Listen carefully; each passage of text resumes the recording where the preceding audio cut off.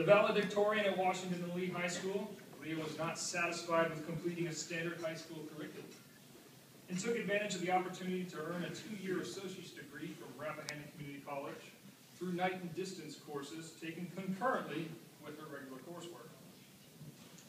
No stranger to competition, Leah was an exceptional talent on the athletic fields, serving as a captain of both her cross country and soccer teams as a 10th grader. She's about to get mad at me. But she was also a state champion wrestler. and she earned all region honors in track. I'm so jealous right now. when not on the pitch, she put her oratorical skills to work in earning recognition as an original oratory state champion. Her leadership skills were evident through her election as the governor of Girls State and initiating her own fundraising initiative as a volunteer director and president of a call to serve volunteer club at her school, supplying mosquito nets for children in Arusha, Tanzania. I'm not the only one feeling inadequate here, am I? Not one to be satisfied with past achievement, Leah was, has accumulated an impressive record of leadership and work experience while at the university. Her work as a Highland Fellow at the Highland Support Project in Peru has given Leah an opportunity to showcase her ability to invest her time and energy in a cause that engages her multiple talents in language, social entrepreneurship, nonprofit methodology, and consulting. She is heavily involved in the UVA Social Entrepreneurship Initiative Steering Committee to help craft an appropriate social entrepreneurship curriculum at the university, and remains involved in organizations devoted to global development and faith. Leah is the founder and coordinator for the Jefferson Round, organizing weekly discussions hosted by residents of the lawn, and true to her competitive spirit, she has also been involved in the UVA Club Cross Country team, the Jefferson Literary Debating Society, and she has also been awarded multiple grants for research initiatives ranging from business modeling to poverty alleviation practices. I could go on more with Leah's involvement in academic achievement at the university, but I know it is safe to say that our impact in the last three years has been significant to not only the university community, but communities worldwide. Please join me in welcoming Ms. Leah Jacobs.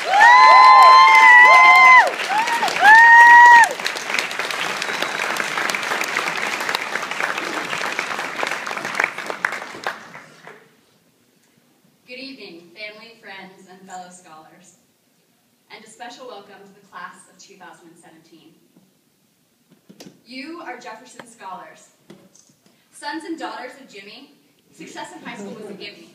You were captain of your sports team, homecoming queen, mathlete, research geek, founder of an NGO, and ready to go, above and beyond expectations.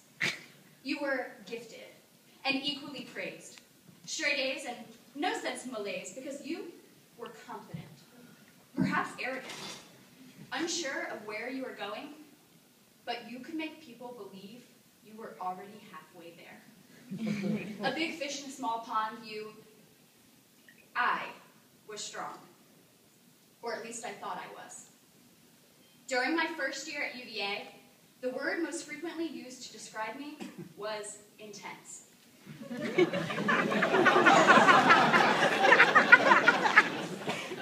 I wasn't sure of what I wanted to study, but you could bet your money that I could make people think I did.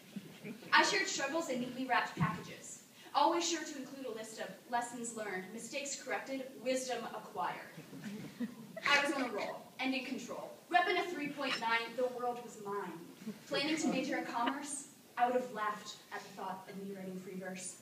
but my worth was tied up in temporal things. I was on a path to financial security, but lacked emotional maturity. Because what I thought was strength was pride. Too proud to be wrong, too proud to be weak, too busy to think about how I was changing and growing or where I was going, continually showing others that I was in control. Perhaps I sound a bit melodramatic, but only in an effort to be emphatic about what I say next. For people like you and me, strength is allowing ourselves to be weak. It is the willingness to let friends in and feelings out. It is allowing yourselves to doubt. Strength is admitting that you don't have it together. It is accepting the B with humility. Strength is giving yourself grace in the face of adversity. It is vulnerability. Strength is knowing that you could still love yourself, even if your activities, accolades, and GPA were wiped clean from your resume. And the strength is only found in community. Unfortunately, I didn't have that figured out my first year. I shared a room with a fellow Jefferson scholar, Ms. Kaz Komolafe, who is now the editor-in-chief of the Cavalier Daily. If I was intense, then Kaz was truly inspiring in her ability to intimidate others.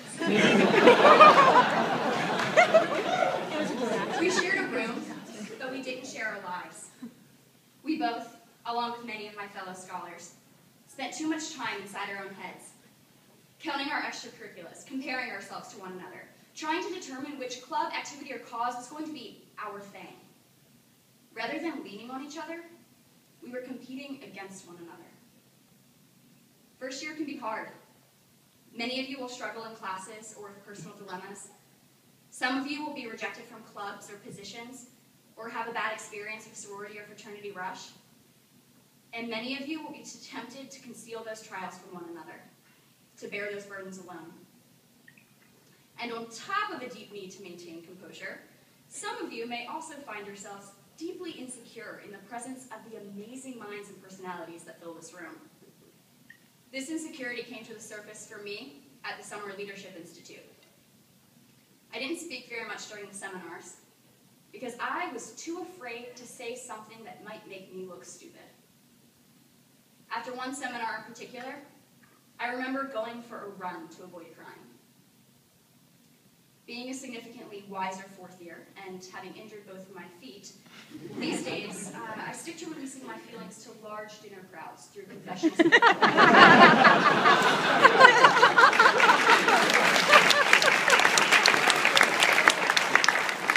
but seriously, how did this seemingly neurotic girl become a Jefferson scholar, you might ask?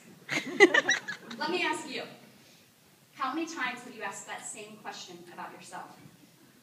How many of you have experienced stress after sitting through the fourth year dinner?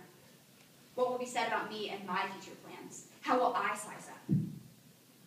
I address the unfortunate reality of the inner depths of our minds because it is these thoughts that divide us. And because these thoughts don't match the potential I have witnessed in this community. I have watched scholars provide helpful advice about majors or interviews and offer connections to professors or resources. Upperclassmen reaching out to younger scholars to recruit them into mock trial or first year players. I will always be grateful to Garrett Lyons and Emily Pierce for inviting them to volunteer, for inviting me to volunteer with them right after I went through a suboptimal experience with Sorority Rush. they allowed me to feel connected to the scholars community. I've seen Jefferson scholars practice countless case studies together and I've also seen them intervene in one another's personal lives when it was necessary. I have watched this whole community celebrate together, and earlier this semester, I watched it mourn together. As you progress through your four years here, you will encounter many of these same experiences, and you will begin to collect many beautiful memories of your own. Memories of the support, both personal and academic, that this community and especially your scholars class, will provide you. I know I have. I poured my heart out to Colette in the dirtiest and cheapest room you could possibly rent in Vientiane Laos. I have pondered life philosophies with Mallory. Carl David has challenged me. Rebukes or questions that stung at first, but for which I will be eternally grateful. I am still always touched and surprised when Kyle and Jenny or Kate or Mallory is genuinely happy for me. I've been blessed by Kaz's continual support of my every endeavor. Proofreading essays, texting me well wishes because she remembers my interview dates, offering love and support when I was sick with the flu, or just checking in when times were tough. I may not have realized it at first, but I can confidently stand here today and tell you that I have a community who loves me, supports me, wants the best for me, and is willing to cheer me on every step of the way. And so do you. So though I am not espousing that we cast schoolwork to the side, wear our hearts on our sleeves, gather together for an agape meal and sing kumbaya, I do urge each of you to skip the counting and comparing. His success and hers are not mutually exclusive. And how do you measure success, anyways? There is no club you must join, major you should or shouldn't pursue, no job that you have to take to be welcome here and to be successful here. As another scholar said in this very speech last year, write your story and be proud of and excited for your fellow scholars as they write theirs. Be honest with one another and have fun together. Find, find a home and find strength in this community. Because when you allow yourself to be poured into, picked up, and loved by those around you, that is when you will achieve your best. It is in community, not in the depths of your own neural kingdom, that you will either discover your thing or embrace the fact that you don't have one. You are Jefferson Scholars. Recognized for your leadership, citizenship, and scholarship, you are tenacious, talented, tough young men and women. You are capable and competent, and sometimes capricious. And you are not alone. You are part of a community of like minded but beautifully diverse individuals. Individuals ready to support you if you would only stop judging yourself. So don't be too proud to be wrong, too proud to be weak, too busy to think about how you are changing and growing or where you are going, but have the strength. The strength to allow yourselves to be weak, the willingness to let friends in and feelings out. Allow yourselves to doubt. Have the strength to admit that you don't have it together. Accept the B with humility. Find strength in this community because we will still love you, even if your activities, accolades, and GPA are wiped clean from your resume. Even better, lean on this community. Because if you're going to see further, it will be by standing on the shoulders of giants. Congratulations and welcome to the Jefferson Scholars Class of 2017. You have joined a community of giants, and we are more than happy to support you on our shoulders. Thank you.